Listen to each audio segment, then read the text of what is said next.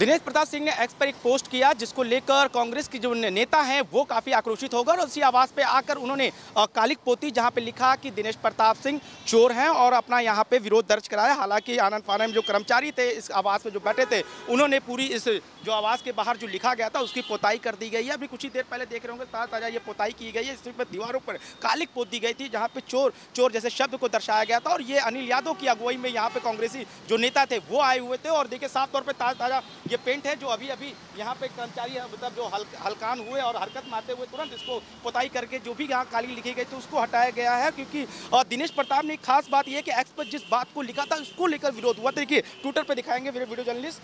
अन अंतः लड़की लड़ नहीं पाई और भाग गई। वहाँ जहाँ लड़ लड़ना ना पड़े बूढ़ी हो गई है। ऐसे शब्द का बयान किया जिसके बाद से कांग्रेसी नेता अनिल यादव का विरोध करते हुए यहाँ पे इसी आवास पर कालिक पोती गई। हालाँकि आनंद पाला में कर्मचारियों ने पूरी कालिक को रंग को व्हाइट कर दिया है। जिंदाबाद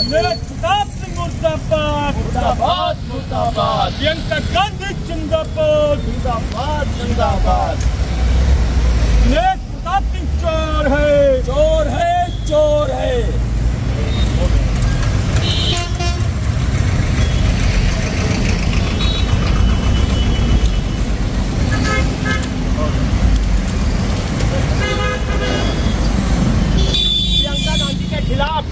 अगर औकात है दिनेश सिंह की सड़कों पे आके जहाँ बताएगा निपटने लेंगे हमारी नेता के खिलाफ अगर कोई इस तरीके की बात बोलेगा बर्दाश्त नहीं करेंगे उत्तर प्रदेश में। प्रियंका गांधी जिंदाबाद। जिंदाबाद जिंदाबाद।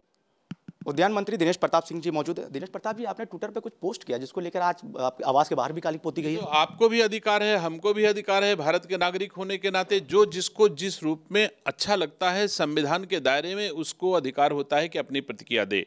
मैं राजनीतिक व्यक्ति हूँ। प्रियंका गांधी ने रायबरेली छोड़ के वायनाड की शरण ली है।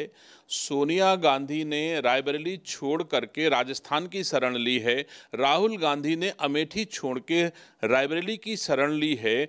तो ये शरणार्थियों से मेरा सवाल था कि आपकी मोहब्बत की दुकान दिल्ली में क्यों नहीं चलती? जो जहाँ जन्म लेता है, वहाँ राजनीति करता है। और इन लोगों ने गांधी परिवार की पीढ़ियों ने कभी दिल्ली से चुनाव नहीं लड़ा।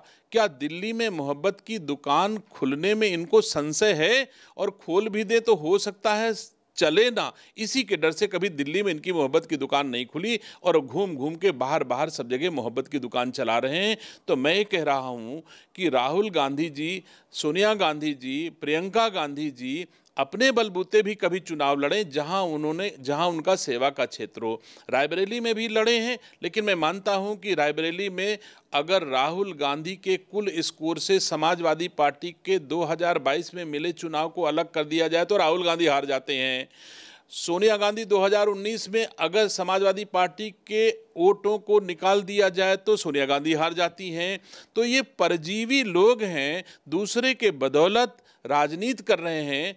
न संघर्ष जानते हैं, न सेवा जानते हैं, न सम्मान करना जानते हैं, केवल परजीवी आधार पे ज़िंदा हैं। आज भी गठबंधन तमाम सारे लोगों को लेकर के किसी न किसी रूप में अपना अस्तित्व बचाए हैं। इस पर एक भारत के नागरिक होने के नाते मैंने सवाल ज़रूर उठाया है कि जब लड़की लड़ सकती थी, इतने ज़ोर शोर से इस नारे का करोड़ों रुपया लगा के उत्तर प्रदेश में प्रचार किया, उत्तर प्रदेश की प्रभारी बनी तो लड़ सकती थी तो क्यों नहीं लड़ी? आप क्यों पलायन कर गई? क्यों भाग गई आप?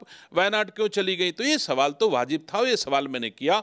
अगर किसी को अच्छा लगे तो शुक्रिया, नहीं अच्छा लगे तो शुक्रिया। तो ये थे हमारे साथ मंत्री दिनेश प्रताप सिंह। इनका साफ़ तौर पे कहना है कि ट्विटर पर एक्स पे जो पोस्ट किया वो अभिव्यक्ति की आज़ादी, जिस तरह से वायनाड से प्रियंका गांधी को नाम अनाउंस किया गया, उसको लेकर अपनी प्रतिक्रिया दी है कि जिस तरह से प्रभारी बनाई गई थी प्रियंका गांधी, जिसको आखिर नारा था कि लड़की लड़ सकती है तो आखिर वो नारा कहा गया? इसको लेकर उन्होंने प्रतिक्रिया और रिएक्शन दी है। वीडियो जर्नलिस्ट शाहनवाज खान के साथ अनुज कुमार, भारत एक्सप्रेस लखनऊ।